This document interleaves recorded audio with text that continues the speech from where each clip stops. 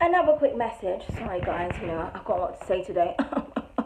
um, I just also wanted to say, um, it's important to be beautiful on the inside as well as the outside. I remember I was speaking to someone a while ago, and I remember they said to me that um, beauty is dangerous because it's something that everybody wants, but not everybody possesses. But it's like, um, you know, there is a lot of power in beauty, right? Okay, and I thought, yeah, but I think you know, it's you. It's important that you're beautiful on the inside because a lot of people they're beautiful on the outside, but inside they're fucking ugly as fuck. Also Motherfuckers can tell you that you're beautiful all day, but treat you like you're ugly.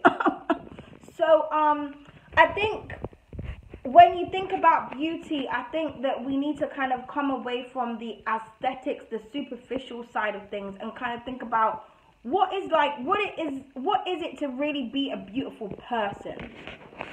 Okay, it's kind of like um sometimes people will see couples, right? And then, you know, there's always that couple where, like, one of them's, like, really good looking, the other one's just like, what's going on? You know, like, how did you bag each other? Like, what, what happened there, okay? Um, but it's because, you know, the other person is a beautiful person. They're a beautiful soul. They're a beautiful spirit. Um, and so, you know, as they say, beauty is in the eye of the beholder. So maybe the other person sees a beauty in them that other people just don't see. But it's kind of like that's the whole point. We're not supposed to focus so much on, um, you know, the physical attributes. In saying that, though, especially when it comes to relationships, obviously you want to be with someone that you are attracted to. I mean, when someone's just smart and they're not attractive, it's like, and when someone's just attractive but they're not smart, it's like, so. but we need to pay attention to what makes us beautiful in.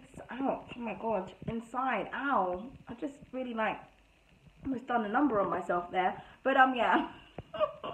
um, the things I find beautiful is laughter. Like I love to laugh. I love when people are like are funny.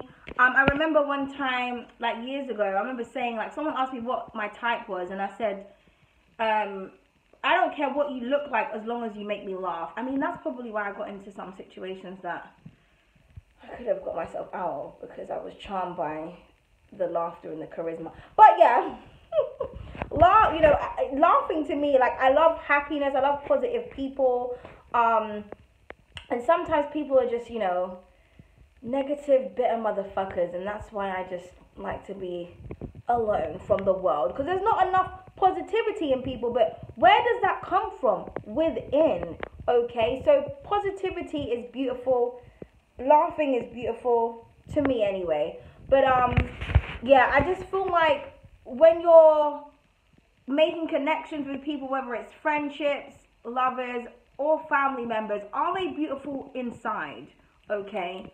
Because there's a lot of pretty angry bitches and a lot of handsome angry niggas, and we don't need that. We need beauty within the world, and beauty comes from the, a kind heart, I would say.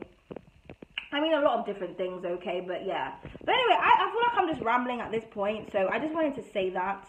Again, like I said in the other video, and I'll say it again in this one, um, I will be doing the, um, love readings next, okay? So just look out for those. They will be premiered very soon. I'm just waiting for YouTube to just upload certain things, but you know, YouTube just be taking the PI double snakes. But anyway, um, once again, toodles! And also remember to work on your character and your self-development because a lot of people like to work on the outside. And I'll say it again. It's what's on the inside that counts.